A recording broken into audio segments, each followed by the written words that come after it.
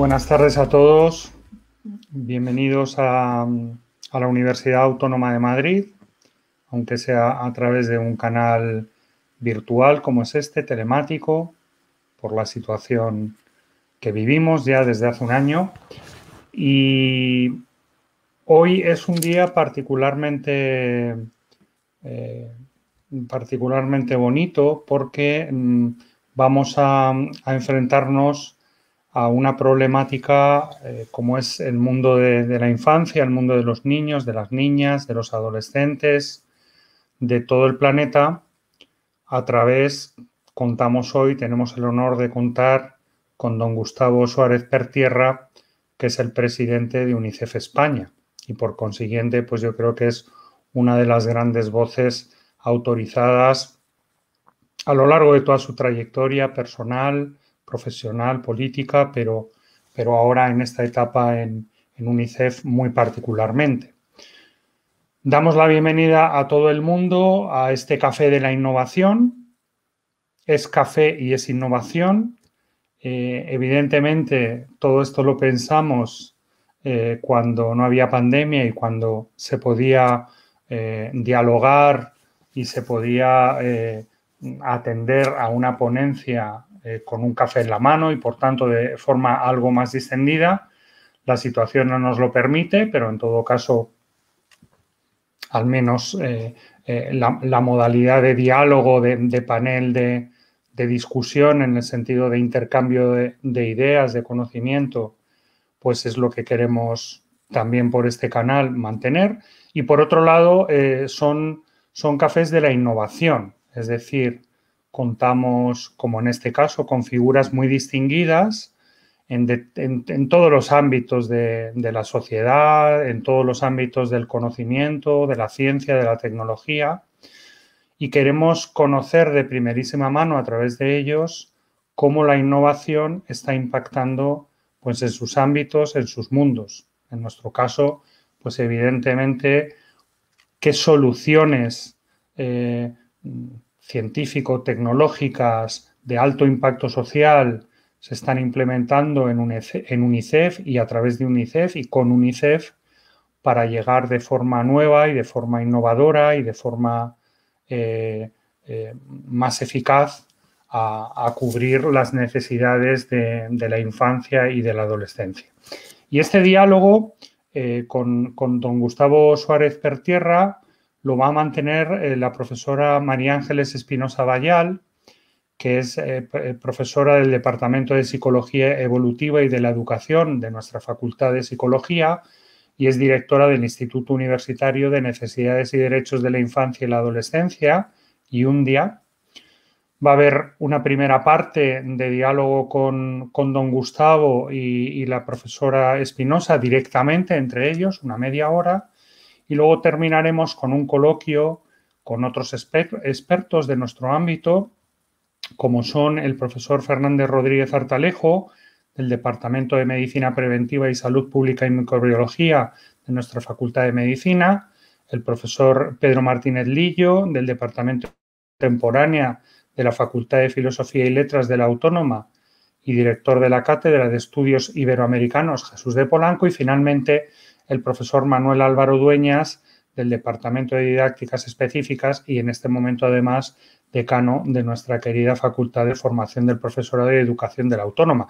Todas las facultades son queridas, pero al tener al decano eh, aquí particularmente, por eso lo he resaltado en este caso. Así que sin más, eh, eh, María Ángeles, profesora Espinosa, cuando, cuando, cuando quieras puedes presentar al, al invitado e iniciar el diálogo. Muchas gracias. Eh, muchas gracias, vicerrector. Eh, muchas gracias, Javier. Eh, la verdad es que para mí es un honor y un placer estar aquí esta tarde eh, creo que, debo estar muy agradecida a quienes trabajamos en infancia en esta universidad. Debemos estar muy, muy agradecidos y muy satisfechos porque eh, se haya dedicado un espacio eh, especial para, atender las necesidades de los niños y de las niñas en, esta, en este ciclo de, cafés para, la innovación.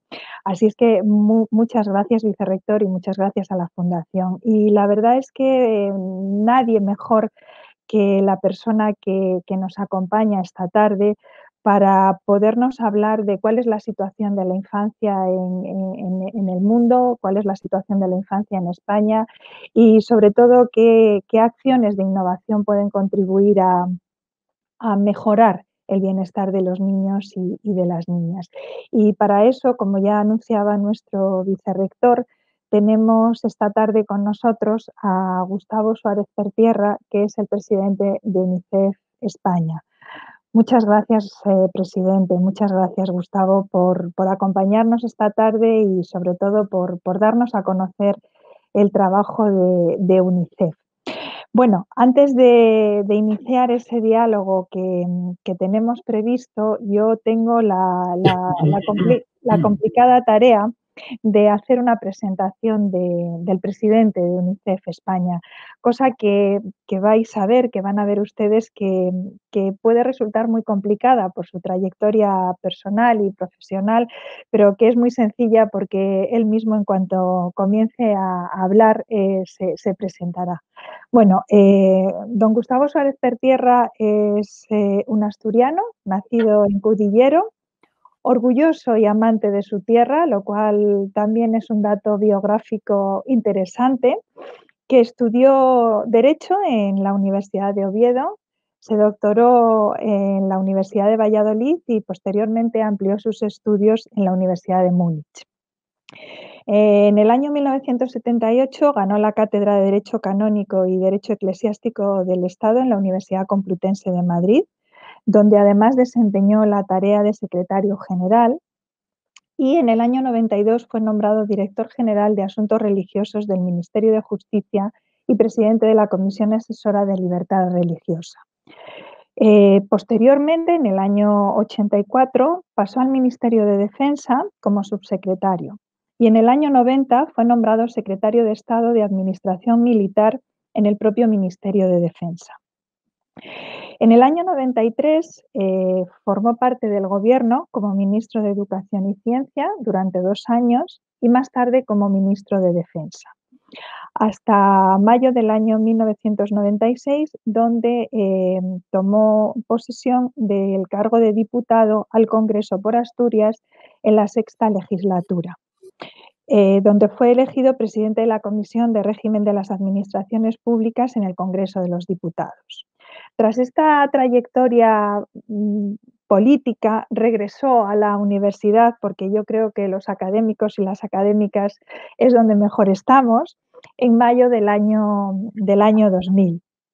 Y en ese mismo año se trasladó a ocupar la misma cátedra que tenía en la Universidad Complutense a la, UNED.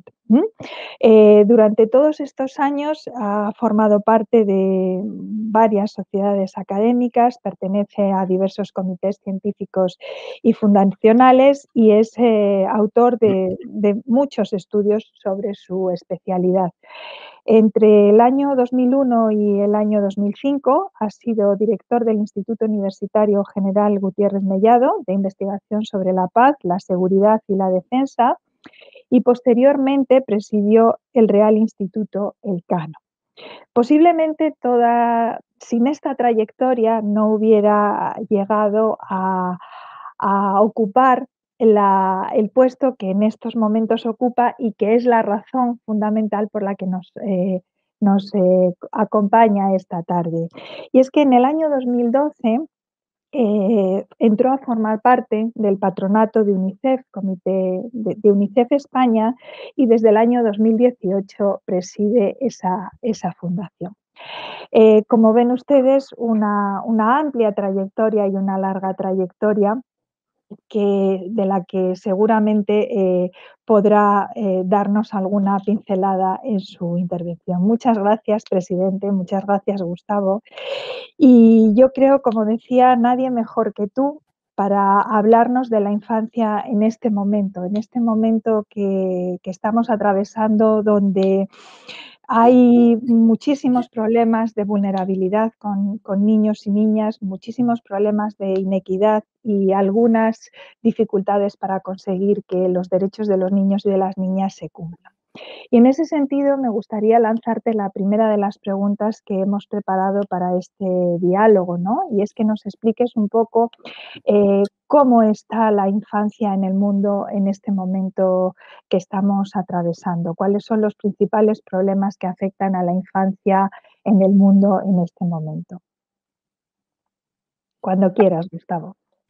Eh, muchas gracias, muchas gracias María Ángeles, muchas gracias vicerrector, em, eh, muchas gracias a, todos em, ustedes que han tenido la atención de, conectarse para mm, asistir a este café, que es una oportunidad extraordinaria. Yo soy el que tiene que estar agradecido a la Universidad Autónoma eh, por em, prestar una voz a la infancia, no porque yo sea eh, un miembro de este grupo social, sino porque eh, tengo el honor y la suerte de dirigir una organización eh, que se dedica a trabajar por el bienestar de los niños, las niñas y los jóvenes. Es un verdadero gusto estar con ustedes, estar en un ambiente universitario, por tanto, por tanto, eh, yo soy, como antes decía, el agradecido en términos personales y en términos institucionales. Por otra parte, no puedo dejar de atender la delicada petición eh, que me ha hecho María Ángeles Espinosa, que también es presidenta del comité de, además de directora el un día y de especialista eh, muy reconocida en temas de la infancia. También es presidenta del Comité de Estudios y Formación de UNICEF España y, por tanto, desde ese puesto, una esencial colaboradora de eh, mía. Eh, así pues, muchas gracias por, eh, por atenderme y por recibirme. Voy a, voy a intentar responder a la primera pregunta que me ha hecho María Ángeles, ella podría hacerlo también, por lo menos, si no mejor que yo. bueno, estamos en este momento, este es el, celebramos el 75 aniversario de UNICEF. El año pasado celebramos el 75 aniversario de Naciones Unidas. Un año más tarde se creó UNICEF con la pretensión, con el objetivo fundamental de atender de resolver los problemas del hambre y el frío fundamentalmente que estaban afectando a los menores eh, después de la Segunda Guerra Mundial. Pero enseguida eh, comenzó a trabajar, mm, a, traspasar las fronteras, las fronteras europeas eh, e incluso sus objetivos principales. Diez años más tarde estaba, había vacunado, UNICEF había vacunado con Cruz Roja el, eh, del orden de 60 millones de niños de tuberculosis, que era eh, la enfermedad con la que, eh, una de las enfermedades fuertes con las que nos enfrentábamos en ese momento. Bueno, el UNICEF está en estos momentos en más de 190 países y territorios. tenemos una red que nos permite llegar prácticamente a todas partes donde se necesita eh, el trabajo por la infancia. Eh, nuestra, nuestra misión, eh, que me sirve para luego hacer una especie de panorama en respuesta a lo que planteaba María Ángeles, nuestra misión trabaja sobre cuatro pilares o cinco, es decir, trabajamos en primer lugar preocupándonos por la supervivencia de los niños y las niñas y los adolescentes. Eh, nos preocupamos también por el bienestar, eh, salud, educación de estos grupos sociales. Nos eh, preocupamos por la protección que necesitan en circunstancias normales y en circunstancias que no lo fueran, los niños, las niñas y los jóvenes. Y finalmente trabajamos con las emergencias que suceden, ya sea eh, por causa de desastres naturales, ya sea eh, por eh, conflictos y otras causas. Este es el, trabajo fundamental de UNICEF que se ha convertido ciertamente en una referencia insustituible desde Naciones Unidas, con la plataforma de Naciones Unidas, quiero decir, para el trabajo con la infancia. Baste decir, seguramente tendremos ocasión de hablar de esto a lo largo del café, más detenidamente, pero basta decir, basta decir que una de cada dos de las vacunas que en estos momentos se están administrando eh, en el mundo y no solo por causa del COVID, eh, las administra eh, UNICEF porque es la que dispone de las redes necesarias para esto. Bueno, en estos años, en estos años se ha avanzado mucho en, en el cuidado de la infancia y en el bienestar infantil y juvenil. Eh, tenemos eh, médicos en el auditorio que nos pueden dar cuenta de que algunas enfermedades que eran mortales hace mm, eh, pocas décadas, en estos momentos están, la polio, por ejemplo, en estos momentos están prácticamente em, erradicadas.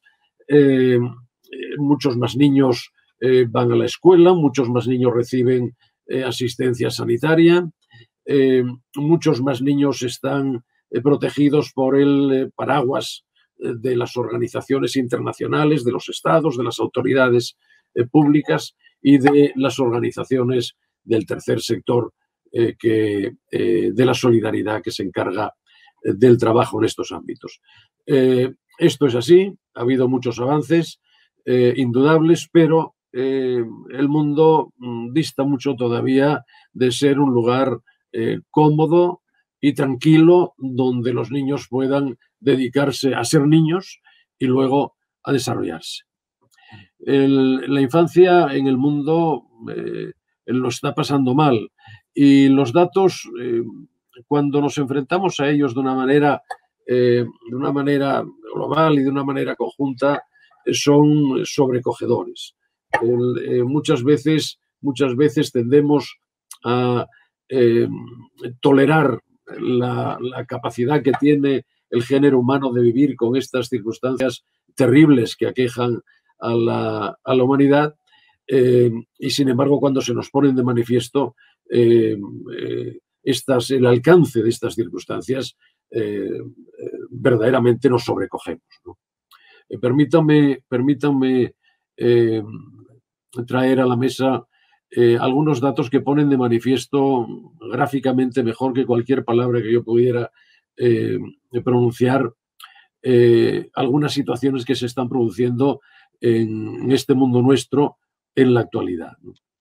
yo antes decía que la primera preocupación de UNICEF es la supervivencia de los niños. Eh, en estos momentos es un dato que nosotros, desde UNICEF quiero decir, repetimos una y otra vez. en estos momentos están eh, fallecen en el mundo del orden de 5.200.000 niños cada año por circunstancias evitables. Eh, niños menores de 5 años, esta categoría eh, social. Em, venimos, es una cifra verdaderamente terrible. Eh, aunque venimos prácticamente del doble hace 30 años. Por tanto, esto pone de manifiesto eh, que, eh, hemos, que hemos trabajado todos en, este orden de cosas por mejorar la situación. Pero esto no, no, no puede hacer olvidar que cada día mueren 14.000 niños, más de 14.000 niños cada día, por causas, atención, evitables. Es decir, eh, podíamos haberlo evitado con una vacuna o con eh, facilitarles el acceso al agua potable o a condiciones higiénicas de vida, eh, causas prevenibles. Es una, es una cifra que incluso si, si se combina con otras cifras de este mismo tenor resulta abrumadora.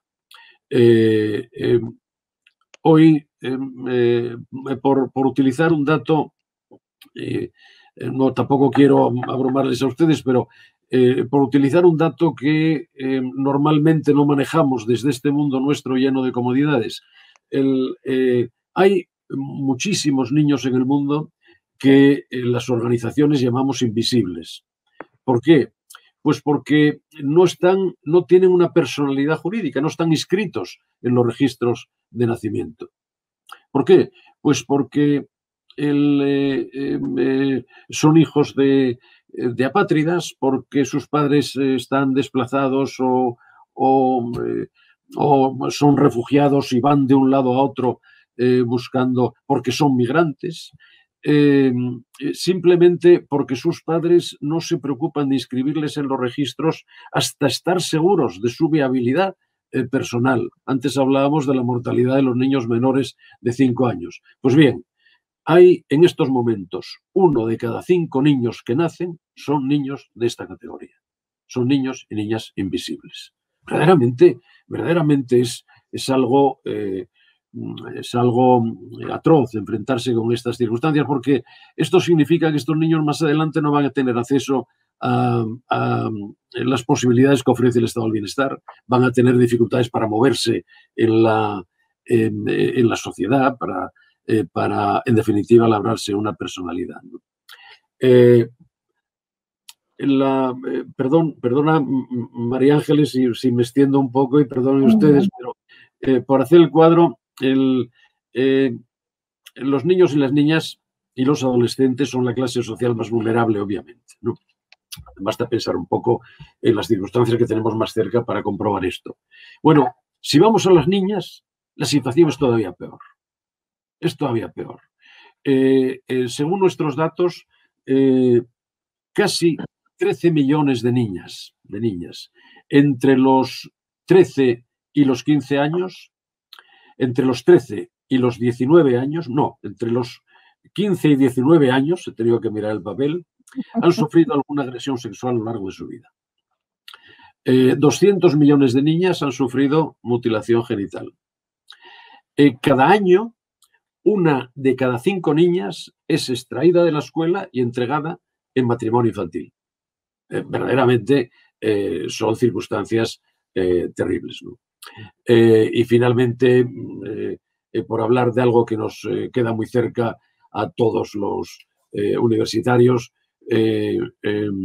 hay muchos millones de niños hoy, más de 260 en el mundo, que no tienen acceso a la educación primaria y a la formación posterior.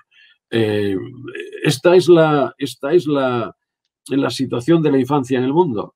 hemos avanzado mucho, pero queda muchísimo por hacer. Y esto depende, eh, depende de, los países, depende de los gobiernos, depende, depende de los actores públicos y privados, en definitiva depende de las preocupaciones que los ciudadanos tengamos sobre esta situación que afecta, como antes decía, al grupo social más vulnerable y que por sí mismo no puede salir de estas eh, circunstancias que atraviesan eh, su, su vida diaria.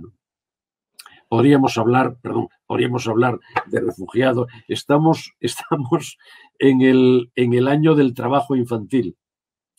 Eh, hay 152 millones de niños y niñas trabajando. Eh, esto se ha agravado, con el cierre de las escuelas se ha agravado mucho. Bueno, no quiero eh, detenerme más en, en, este, en este aspecto porque me parece que está suficientemente caracterizado. Gracias, Desde luego, eh, presidente, los datos que, nos, que nos manifiesta sobre la, sobre la infancia en el mundo duelen. Simplemente escuchar estos datos hace que, todos nosotros nos, convulsionemos, ¿no? Pero siempre tenemos la tendencia a pensar, ¿no?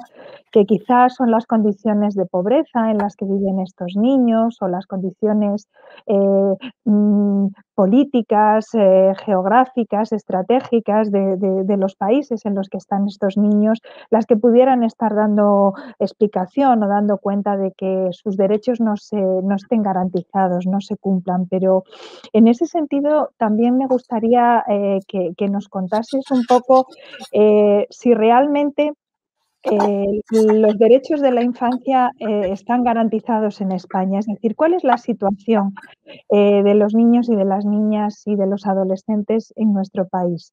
eh, ¿cómo, cómo, cómo, está en relación a, la garantía de, derechos? ¿Es, distinta? ¿En qué es distinta? ¿En qué es similar a estos grandes rasgos que, nos has planteado?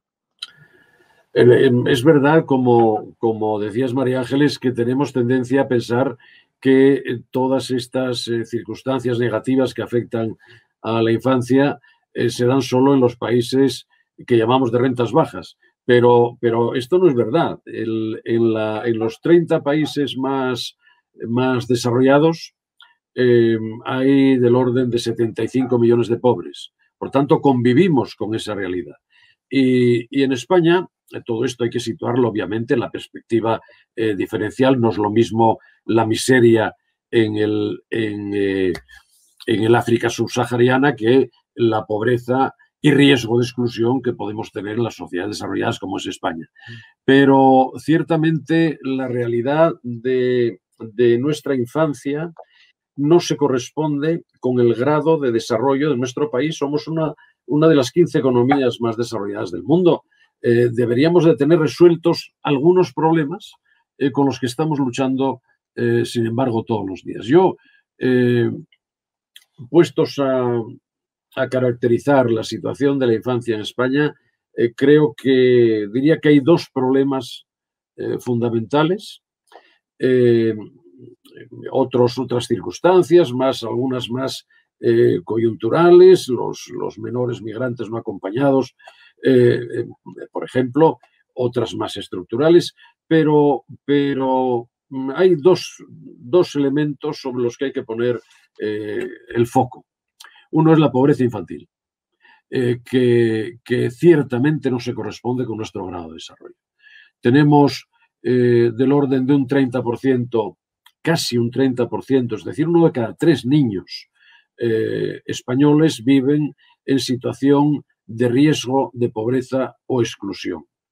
esto es una, es una, es una circunstancia que no es solo privativa de nuestra sociedad, eh, pero que también se produce en sociedades desarrolladas como la nuestra.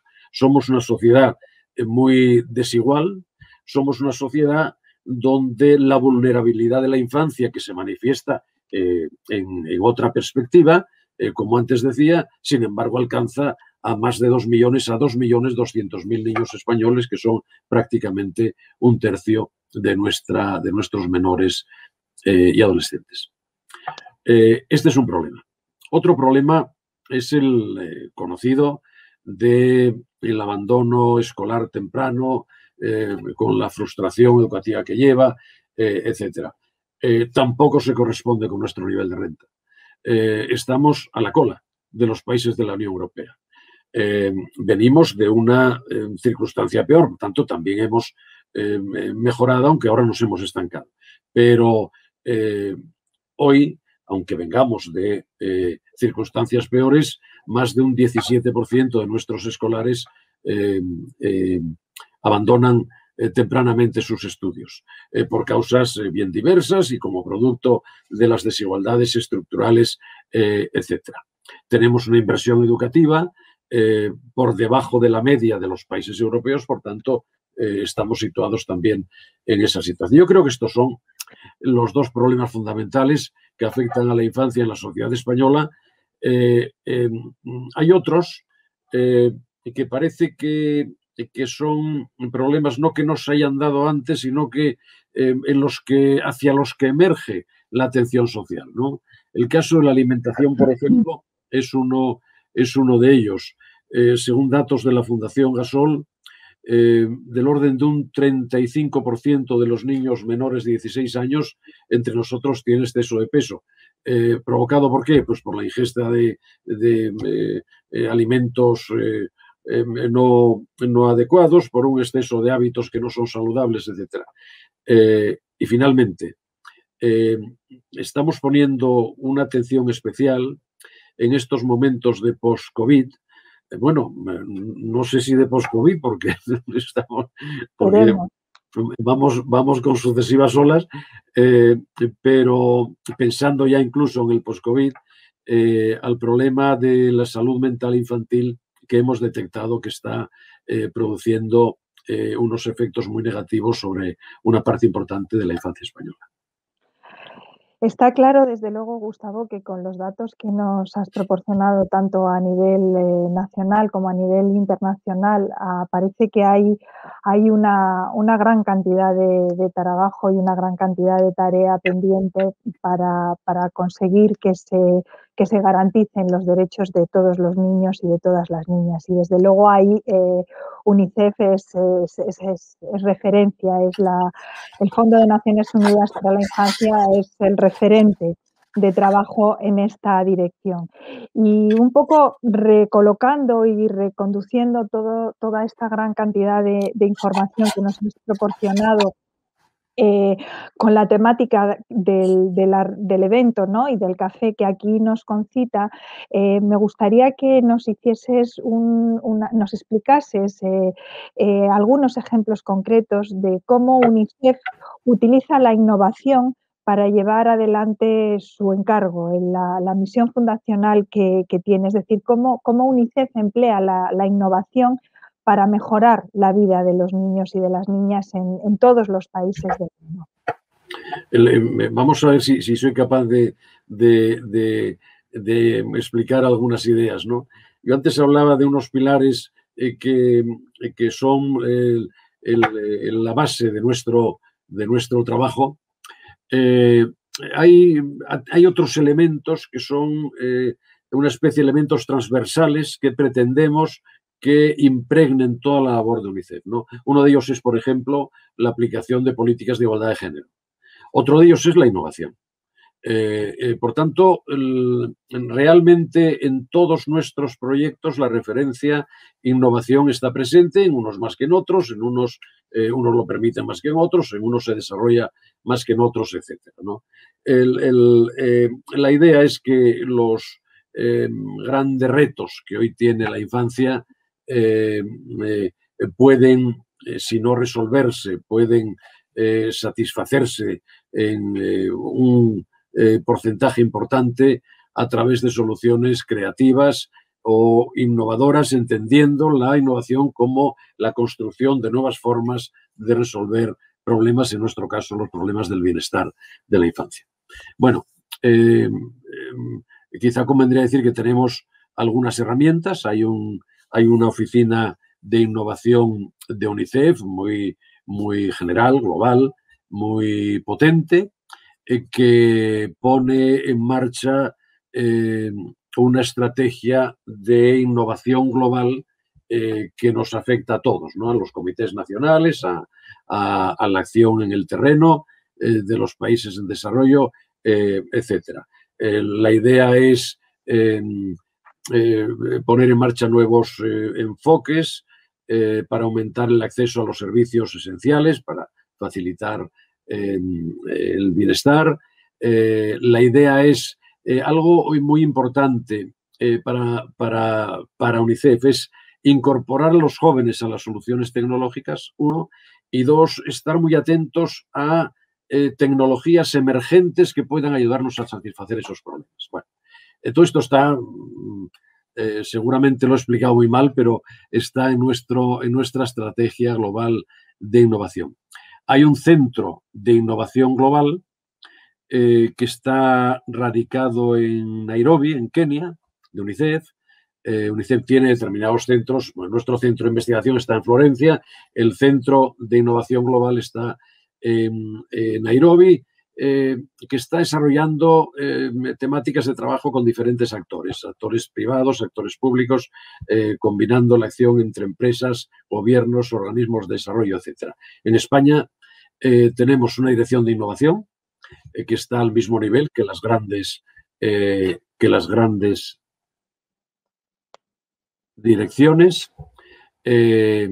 perdón, es que me ha saltado una cosa en la pantalla el nivel de las, de las grandes direcciones eh, generales de, nuestra organización, del Comité Español, eh, eh, que ha desarrollado o está desarrollando proyectos, yo creo que de mucho interés, que pueden verse en la página web, por ejemplo, lo que llamamos UNICEF Lab, que es un programa de aceleración de proyectos de carácter social con el foco de los derechos de la infancia, una plataforma de, hemos puesto en marcha una plataforma de innovación colaborativa, que son proyectos de emprendimiento relacionados con COVID, y bueno, y estamos poniendo en marcha una escuela de innovación.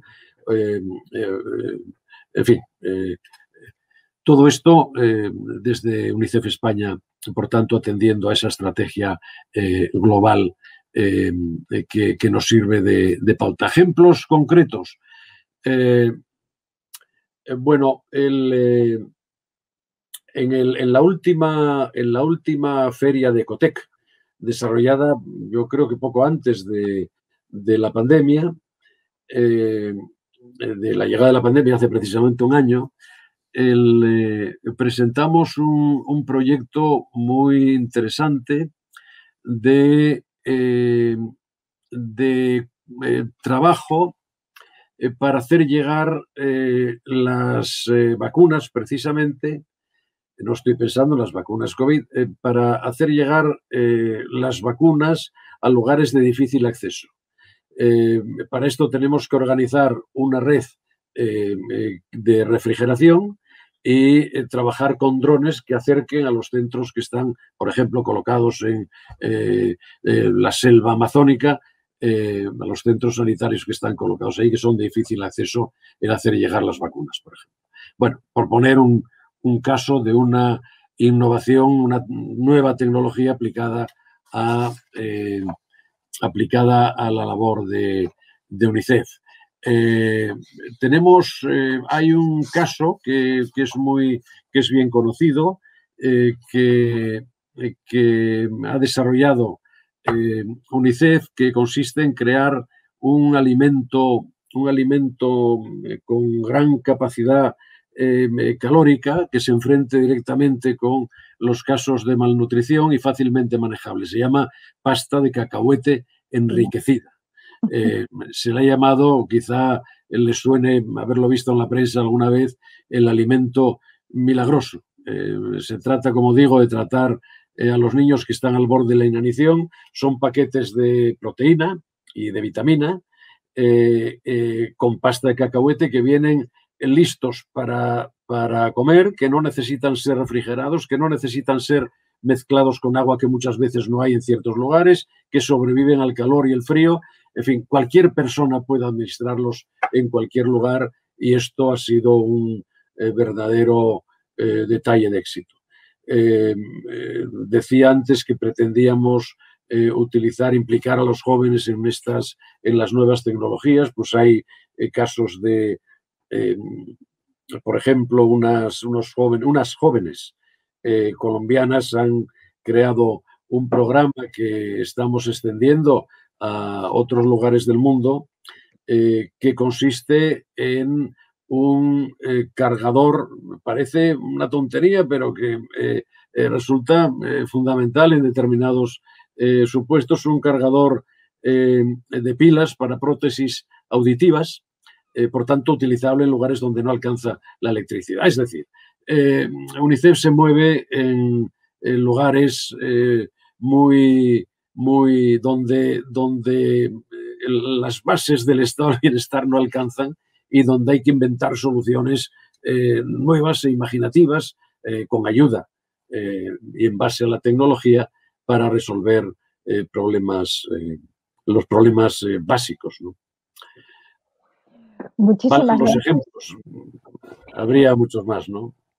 Las llamadas escuelas flotantes, en el caso de los monzones, bueno, muchas más cosas. ¿no? Bueno, sin lugar a dudas, lo, cualesquiera de los ejemplos que has, que has utilizado, Gustavo, de los muchísimos que podrías, que podrías utilizar, lo que ponen claramente de manifiesto es cómo UNICEF utiliza soluciones innovadoras para dar respuesta a las necesidades y a, las, a los problemas que tiene la infancia en lugares, como tú muy bien señalas, donde lo que para nosotros es habitual y es normal, pues no, lamentablemente no está, no está presente.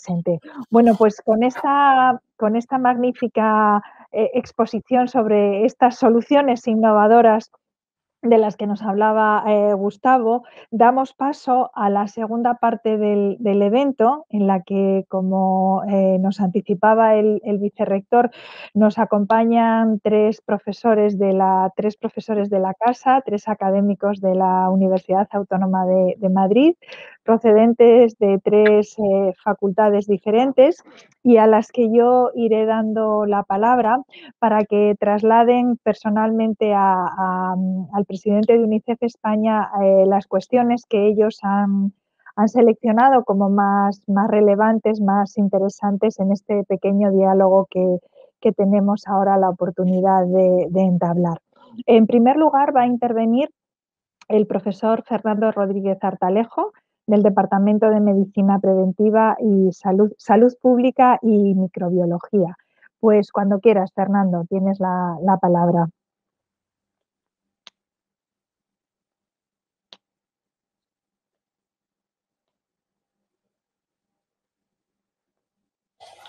No, no se oye, ¿verdad, María Ángeles? Fernando, eh, puedes empezar desde el principio porque no te hemos oído. Es que estaba apagado. Bueno, en primer lugar quiero expresar mi agradecimiento por, por, esta amabilísima invitación y en segundo lugar felicitar al profesor Suárez Pertiga por, por este inicio tan brillante de, la sesión respondiendo de forma tan atinada a sus preguntas, a las preguntas que le has hecho tú, María Ángeles. Me he dado cuenta, porque está aquí en el chat, que el profesor Manuel Álvaro Dueñas ha hecho básicamente la misma pregunta que yo, pero además de forma más sintética. Con lo cual me voy a, voy a dejar a él para el final y yo voy a cambiar ah, de tercio ah, a raíz de lo que ha dicho, un par de comentarios que ha dicho el profesor Suárez Pertierra. Él ha puesto el foco, eh, sobre todo en España, pero también en el mundo, en el problema de la pobreza infantil cuando todo el tiempo estamos hablando de gente que está poniendo el foco en la desigualdad. Es cierto que él inmediatamente después de hablar de la pobreza eh, se ha referido a que vivimos en una sociedad de desigualdad muy desigual, pero quería preguntarle por qué este foco en la pobreza, que, por cierto yo comparto. Y en segundo lugar, ah, nos ha hablado de la pasta de cacahuete y estoy de acuerdo que es un, es un elemento muy rico desde el punto de vista nutricional pero para mucha gente esto sería una solución muy micro a los problemas que no acabaría resolviendo el problema del hambre en el mundo. Y hay otra gente que, ah, no sé si de forma un poco utópica, pero constantemente aluden a que hay que tratar los problemas raíz de los ah, grandes retos sociales que tenemos, es decir, a, cambios sociales profundos que serían los que cambiaran o modificarían ah, realmente los problemas de hambre en el mundo y otros problemas. ¿Por qué este enfoque en lo micro o esto es compatible también con acciones macro de estructura social? Muchas gracias, Fernando. Por, eh, eh, contesto, sí. sí, sí. Eh, muchas, muchas gracias, Fernando, muchas gracias, profesor. Mm, a ver, la pobreza la pobreza es eh, el, eh, está muy claro, está muy claro el, ejemplo si acudimos a la, Agenda 23, a los ODS, a los eh, organismos, a los objetivos de desarrollo sostenible. en el fondo, en la base de todos los problemas está la pobreza. y la pobreza va, es como si fuera, si fuera decantando eh, em, eh, contagios, no, eh, hablando, hablando con un experto, no sé si debería emplear estos términos. hay, un contagio social. Es como si fuera cantando contagios hacia, hacia otros factores sociales, hacia otras circunstancias sociales y acaba contagiando esa podredumbre. Tanto yo creo que hay un tema radical eh, que es la pobreza en el mundo, que da lugar pues, eh, pues, eh, al hambre, a la carencia de, instrumentos vitales y a la carencia de, a la ausencia de capacidades de desarrollo. no, no está mal puesto, me parece, el, el foco en la pobreza como un elemento profundo que provoca eh, que provoca eh, quiebras, una gran quiebra social, porque en definitiva lo que hace la pobreza es provocar una brecha entre, entre hay muchos ejemplos, entre eh, aquellos que han tenido acceso a estas capacidades y los que no han tenido acceso o quizá no lo tengan nunca. Y en el caso extremo, eh, la pobreza lleva a la, a la muerte, sin más. Eh, eh, ¿cómo, ¿cómo, se enfrentan estos problemas? Estoy plenamente eh, convencido, como ha dicho Fernando, de que una cosa son las soluciones inmediatas y otra cosa son las soluciones de fondo. No, no. nosotros trabajamos también, UNICEF trabaja también en las en soluciones de fondo. a ver, lo que sucede es que tenemos que partir de la circunstancia eh, de ausencia de mínimos vitales eh, en muchas partes del mundo. la pobreza se dice que, eh, según nuestros cálculos, son cálculos de Naciones Unidas, con un año de pandemia, la pobreza se ha incrementado en el mundo en un 15% y está afectando en este momento a del orden la, la, pobreza multidimensional, la pobreza extrema, a en torno a 1.300 millones de personas. Eh, eh, esto no se puede desconocer. Y esto, como no se trabaje a través eh, de las organizaciones de la solidaridad en muchos lugares del mundo, algunas con componente público, como es el caso de UNICEF, Naciones Unidas, y otras no, las soluciones no podrán llegar. esto hay que enfrentarlo. y aquí hay un problema básico de supervivencia y un problema de protección eh, a la infancia, el caso. Bueno, eh, eh, sin embargo, es obvio que, que hay que organizar los sistemas sociales en los países que, cuyos sistemas sociales son frágiles para que puedan atender por ellos mismos las necesidades que ya no son necesidades de supervivencia, sino que son necesidades de desarrollo. Valga el ejemplo con los sistemas sanitarios en el caso de, nuestro, eh, trabajamos eh, muy directamente con los sistemas sanitarios eh, muy precarios de los países en, desarrollo. trabajamos ofreciendo vacunas que son básicas para resolver el problema de los 14.000 niños que mueren cada día en el mundo, pero trabajamos para fortalecer los sistemas sanitarios de los países con formación de profesionales, eh, con eh, allegando medios específicos de carácter sociosanitario o de carácter especializado, etcétera. ¿no? Es decir, la solución micro es necesaria para enfrentar los problemas reales que existen en una magnitud verdaderamente extraordinaria, pero mm, no van a resolver el problema. Es decir, el problema de trabajar con las, eh, que es otro de los, de los inventos eh, tecnológicos, con los paquetes de sales eh, alimenticios, pues esto es muy necesario en determinadas zonas del planeta, pero eso no resuelve el problema de que haya sistemas sanitarios precarios o inexistentes o de que haya un sector de la población muy importante que por diversas causas no tenga acceso a la educación. Muy bien, pues eh, ahora vamos a dar la palabra al profesor eh, Pedro Martínez Lillo, del Departamento de Historia Contemporánea y director de la Cátedra Jesús Polanco. Eh, cuando quieras, Pedro. muchas gracias, buenas tardes. Yo también quiero agradecer la invitación que, se me ha cursado para participar en este encuentro y desde luego felicitar a los organizadores por haber elegido un tema y por poder eh, escuchar, aprender y también reflexionar sobre una cuestión que me parece de una trascendencia especial. Y dar la enhorabuena al profesor Suárez de Tierra por su intervención.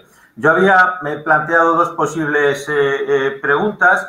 La primera yo creo que ha quedado ya respondida en la intervención que acaba de hacer el profesor Suárez Tierra, porque era en torno a la, a, a la evolución de los Objetivos del Desarrollo Sostenible, la Agenda 2030, y, creo que su intervención la ha dejado bastante clara. Entonces me gustaría situarme en la segunda cuestión, que tiene que ver con un elemento que a mí me parece de una actualidad fundamental, que es el mecanismo COVAX, en el que UNICEF está jugando un papel de liderazgo fundamental, que yo creo que tiene que ver con su credibilidad internacional como organización de efectivamente 75 años trabajando en defensa de la protección de los derechos de los niños y de las niñas y de los adolescentes, pero que tiene que ver también con su eficacia durante todo este tiempo en eh, la estructura y el desarrollo para, eh, para la vacunación internacional que, eh, que, se ha desarrollado. Entonces, me gustaría, si el profesor Suárez Tierra nos pudiera concretar un poquito más este mecanismo que, para quien no esté un poquito al tanto de los temas, busca fundamentalmente un acceso justo y eh, equitativo a todos los países del mundo a la hora de la, de, perdón, de la vacunación contra la COVID-19. Eh, muchas gracias, muchas gracias, eh, profesor Martín Lillo. es verdad, es no, no, puede, no puede ser más actual el, el tema ni, ni, más importante. Yo, el, COVAX es un mecanismo eh, creado precisamente para, para, lo que adelantaba el profesor, eh, para garantizar un acceso global equitativo a las vacunas. Eh, porque en esto no nos engañemos, no basta vacunar al mundo desarrollado, no basta con la carrera por la adquisición de cuantas más vacunas mejor y poder satisfacer los intereses y las exigencias eh, razonables y plenamente justificadas de las sociedades nacionales. Si no vacunamos a todo el mundo, por tanto, sociedades desarrolladas y sociedades que están en vías de desarrollo, no resolveremos el problema de la pandemia. Y esto eh, es, eh, espero, eh, eh, eh, profesor Rodríguez Artalejo, haberlo dicho bien. no resolveremos el problema de la pandemia si no lo resolvemos para todos. ¿no? Bueno, para esto se crea para esto se crea una alianza global con, con el que hay gobiernos, hay científicos y organizaciones científicas, hay ONGs, hay organizaciones filantrópicas y la, eh, y la OMS. Eh, y el, uno de los, de los pilares de esta alianza es COVAX.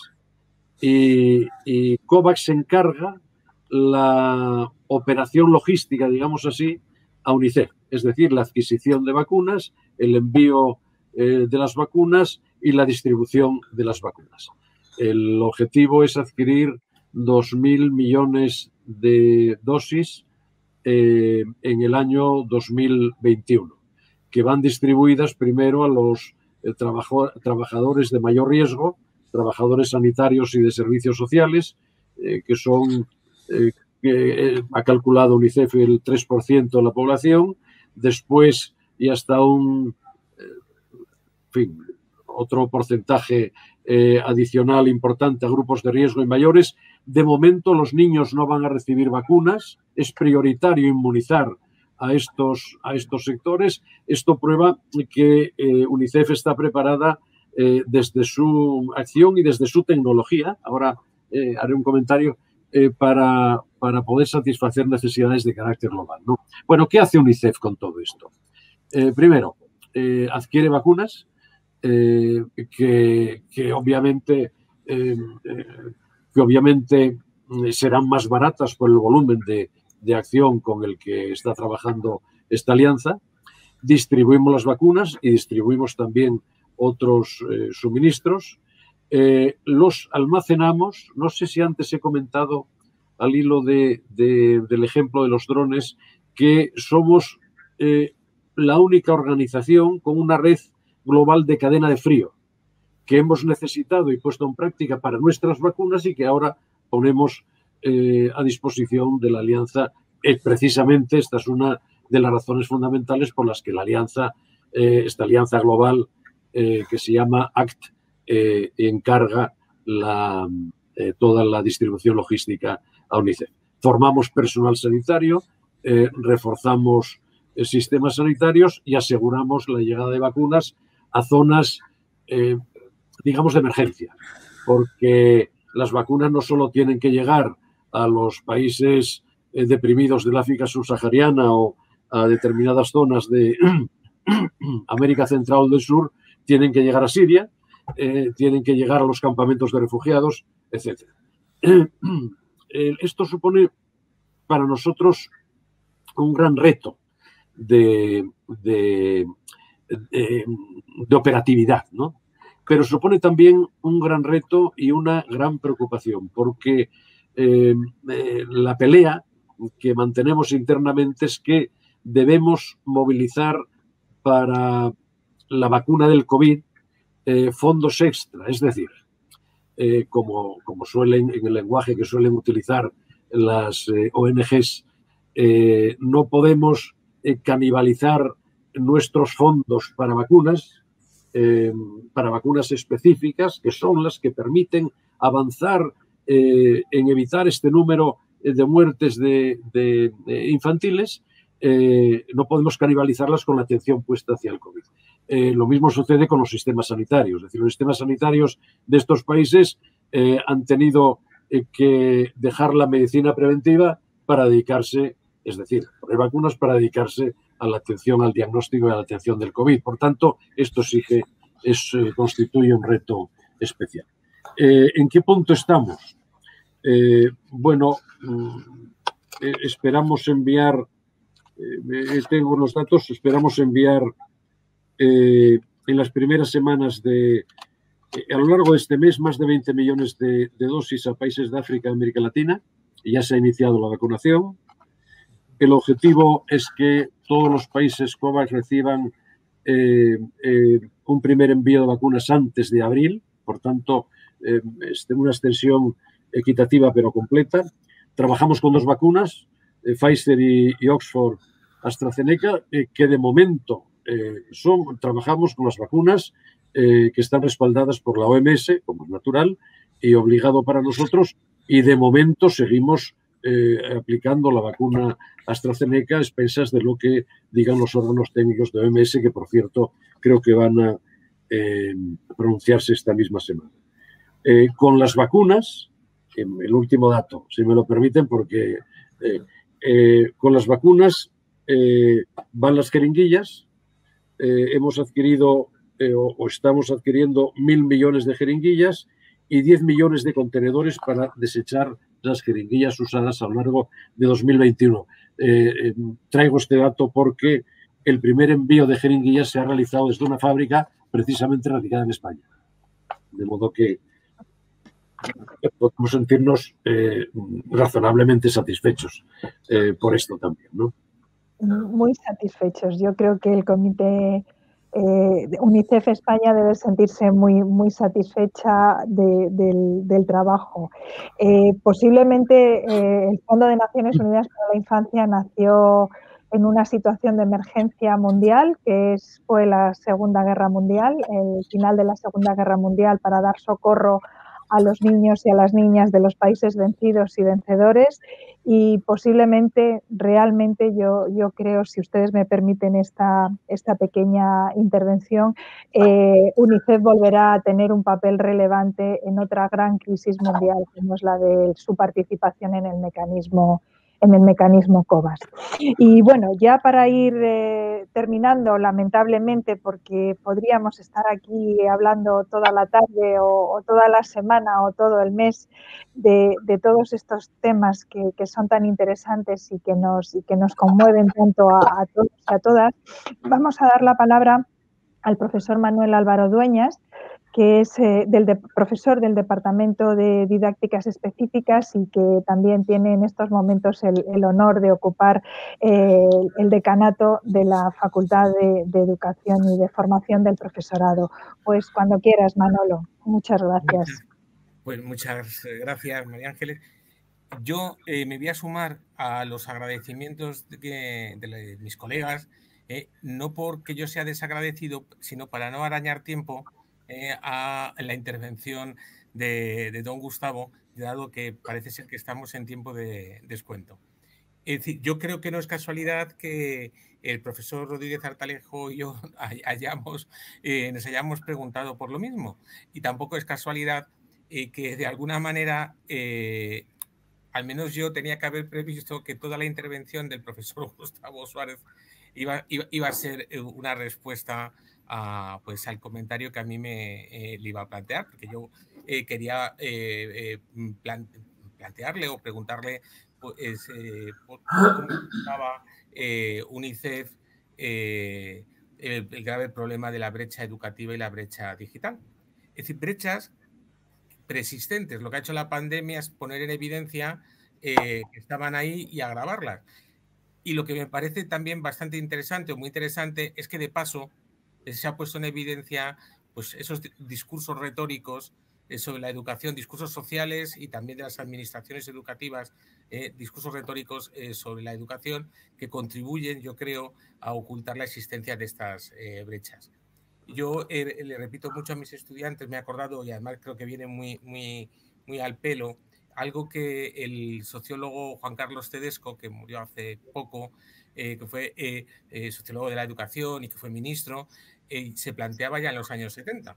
Él, en lugar de preguntar, es decir, en un artículo, en lugar de preguntar qué, qué, podía hacer la educación por una sociedad, que se lo preguntó muchas veces, se preguntaba qué grado de igualdad o de equidad se tiene que dar en una sociedad dada para que todas y todos puedan tener acceso a aprendizajes de calidad con igualdad de, oportunidades. Es decir, yo le quería preguntar eh, o pedirle pues, alguna consideración sobre la necesidad de plantear esto de manera sistémica. Es decir, la brecha digital, la educación, al final tiene que ver con las enormes desigualdades en este mundo globalizado. Y he de decir que, eh, en fin, ya en su intervención eh, nos ha ofrecido ese enfoque sistémico, es decir, la necesidad de abordar todo esto de manera eh, global, eh, de manera eh, pues eso, interrelacionada, sistémica, sanidad, educación, alimentación. Así que, pues nada, yo ahora me callo y sigo escuchando. creo que esto nos ha sabido a poco, María. Muchas Nos ha sabido a muy poco. Muchas gracias, Profesor Álvaro, muchas gracias, señor decano. Eh, eh, estaba pensando ahora con motivo de, la intervención del profesor Álvaro que, em, bueno, quizá, quizá nos haya dejado algo positivo la pandemia, ¿no? que es el, enfrentarnos con eh, la necesidad de enfrentarnos con esta necesidad, con esta, con esta situación eh, en la que nos han colocado a, toda, a todos los ciudadanos eh, de repente, sin pensarlo, eh, con ausencia de cualquier, bueno, no, de, no sé si de cualquier, espero que no, pero con ausencia de la planificación adecuada, con falta de instrumentos para enfrentarse al problema, porque en el fondo, en el fondo lo, que, lo que hay que extraer como conclusión es que hay que estar preparados para lo que pueda venir en el futuro y, entre otras cosas, parte de lo que ha venido con la pandemia eh, se va a quedar conviviendo eh, entre nosotros para lo bueno y para lo malo. El, caso de la brecha digital es un caso, eh, en mi opinión, paradigmático. estamos muy satisfechos porque, porque voy a ver si consigo expresarlo brevemente, ya, claro, eh, eh, con, dos o tres datos. Estamos muy satisfechos, eh, los españoles y las españolas, porque vivimos en una sociedad extraordinariamente digitalizada. No sé si se puede decir así, pero, pero al menos es, es expresivo. nosotros sabemos que, UNICEF, que en los hogares con niños, esa digitalización llega al 97% de los hogares. tanto, el, la sociedad española es una sociedad eh, muy digitalizada. Eh, eh, ¿Cuál es el problema? que el porcentaje de hogares que no tiene acceso a la digitalización, que tienen niños, alcanza los 100.000 hogares. Y eso se ha puesto de manifiesto, se ha puesto de manifiesto precisamente con motivo de la pandemia, es decir, de una de las consecuencias de la pandemia, que es el cierre de los centros escolares.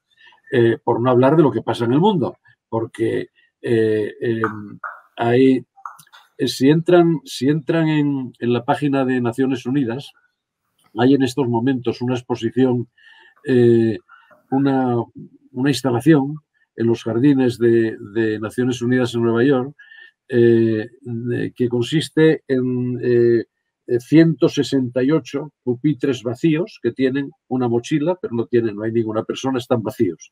Eh, se corresponden con los 168 millones de niños que llevan un año con sus escuelas cerradas en el mundo. Tanto, la situación puede llegar a ser verdaderamente, verdaderamente complejísima. Bueno, em, estos hogares eh, tengo, tengo un dato, para no abrumarles a ustedes, la falta de acceso a un ordenador es casi 20 veces mayor, casi 20 veces mayor en los hogares más pobres. Eh, hablo de España. Esto da la medida de las desigualdades profundas eh, que tenemos en esta, en esta materia. por no hablar de que, de que la brecha digital combinada con el problema educativo eh, ha puesto de manifiesto eh, que en aquellos hogares que, eh, que no tienen, en aquellas familias que no tienen una vivienda confortable, es muy difícil, pues el, aunque tengan acceso a los sistemas informáticos, es muy difícil el desarrollar capacidades de aprendizaje a través de las redes. O que en los hogares que no tienen más que un ordenador con el que trabajan los padres y los hijos, pues eh, em, es muy difícil poner en práctica eh, sistemas de enseñanza eh, online. En definitiva, lo que quiero decir, señor decano, es que la brecha digital se ha convertido en una brecha educativa. y, si, y, si, avanzamos más, como no pongamos remedio a todo esto, se va a convertir en una brecha sanitaria. me refiero a nivel, a nivel global. Y esto es algo mm, a lo que tenemos que atender. ¿Cómo se entiende esto? Eh, pues nosotros llevamos mucho tiempo eh, trabajando, eh, canalizando la, presión social hacia la conclusión de un pacto educativo que sea capaz de em, formular modelos de educación estables, que sea capaz de em, llevar adelante eh, inversiones que nos sitúen en la línea de los países más avanzados, eh, bueno, pues no es más que una otra cara del mismo problema, porque lo que hace la pandemia es agravar las circunstancias, las malas circunstancias en las que nos encontramos en determinados ámbitos, eh, menos mal que no en todos ellos, claro. bueno, muchas gracias. María Ángeles. Bueno, pues eh, ya para ir eh, cerrando este, esta segunda parte del, evento y antes de, dar la palabra al director de la, fundación, yo simplemente agradecer, por supuesto, al profesor eh, Artalejo, al profesor Martín Eldillo y al profesor Álvaro que nos han acompañado aquí esta tarde con sus magníficas intervenciones, como no, a Gustavo Suárez Tertierra por habernos explicado eh, todo lo que nos ha explicado acerca de la, situación de la infancia y del trabajo de UNICEF, pero también me gustaría agradecer al, Vicerrectorado de Innovación y, a la Fundación, que en definitiva son quienes han propiciado eh, la celebración de este evento, que, nos hayan dado la oportunidad a quienes trabajamos eh, con los niños y para los niños, que nos hayan dado la oportunidad de situar a la infancia como un elemento vital en la reconstrucción social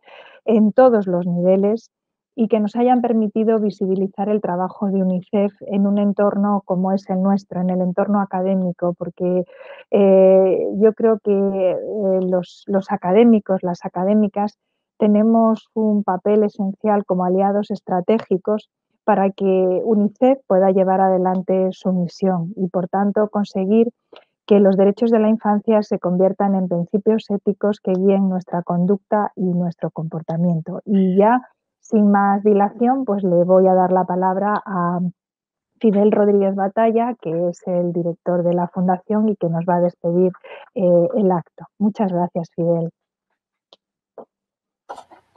Muchísimas gracias a ti, profesora Espinosa. La verdad es que, bueno, a mí me toca clausurar de una forma muy rápida, eh, simplemente diciendo que estoy encantado. Personalmente estoy encantado y espero que toda la audiencia que nos esté escuchando esté de igual manera. Yo llevo seis años en la Universidad Pública, la Universidad Autónoma de Madrid. Anteriormente me dedicaba a la actividad privada y solo os puedo decir a todos los que nos estéis oyendo que la universidad tiene sentido cuando se dan debates como el que hemos dado esta tarde. Debates de implicación y de compromiso social de basados, debates basados en la ciencia, en la, en, la, investigación que hacen nuestros grupos de investigación. Y entonces es tan importante que todo lo que se está diciendo pues está mm, refutado ¿no? desde la ciencia y desde la academia.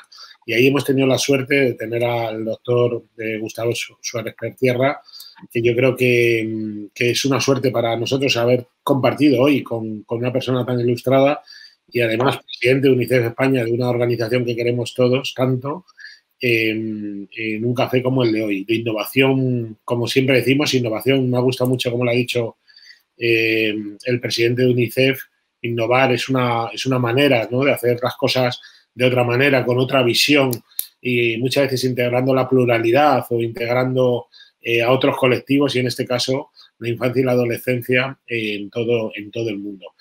Me gustaría agradecer, por un lado, como he dicho, al presidente de UNICEF por el rato que ha estado y a la profesora María Espinosa, que desde el primer momento que la llamamos solo han sido facilidades para hacer este debate, y a los tres profesores que nos han acompañado hoy, al profesor Fernando eh, García Artalejo, Pedro Martínez Lillo y Manuel Álvaro, que realmente representando a muchos otros, ¿no? Con sus preguntas eh, trabajamos y trabajan de una forma muy eh, dedicada por la infancia. Me gustaría recordar a todo el mundo, porque no se ha dicho mucho, eh, la Universidad Autónoma de Madrid tiene con UNICEF el Instituto Universitario de Necesidades y Derechos de la Infancia y la Adolescencia, que dirige la profesora Espinosa, y esto demuestra el compromiso de las dos organizaciones, tanto de la Universidad Autónoma de Madrid como de UNICEF, para que todas las acciones que se hagan estén basadas en la ciencia y, en la ciencia y en la investigación de calidad como la que se hace en nuestra universidad. Por último, me despido mm, diciéndoles a todos que este proyecto de Café de la Innovación, de la Innovación es gracias, por un lado, a la Comunidad de Madrid, que nos ayuda financieramente en la, ayuda que tenemos con, con, las OTRIS, ¿no? de la Consejería de Ciencia, en Universidades e Innovación, y por otro lado con el Vicerrectorado de Innovación, al que me gustaría agradecer la apuesta que ha hecho durante esto, este tiempo por cafés y por actividades de este tipo. Les digo adiós, pero les digo hasta luego porque tenemos otro café la semana que viene. Esta vez será sobre los museos y la importancia que tiene la cultura en los museos en nuestra sociedad y en la Universidad Autónoma de Madrid, que estudiamos y tenemos verdaderos especialistas. Les deseo a todos muy buena tarde, allá donde estén de los confines de la Tierra, y de verdad que es un placer y siempre la Universidad Autónoma de Madrid estará abierta a todos los que nos están oyendo. Muchas gracias y buenas tardes. Muchas gracias. Muchas gracias, muchas gracias.